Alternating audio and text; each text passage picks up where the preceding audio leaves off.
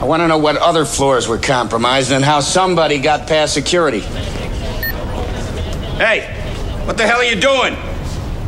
In case you missed it, we have a murder victim in the lab. If you don't belong here, get where you need to be. If you have an assignment, get to it. Move. Well, I almost ran out of here. Any idea who she is? No, definitely doesn't work in the lab. My first thought was it's a practical joke. You know, welcome to the New York Crime Lab. We usually sabotage a pair of latex gloves or have a tech pose as a dead body in autopsy, then suddenly pop to life. But murder? Not our style. Good to know.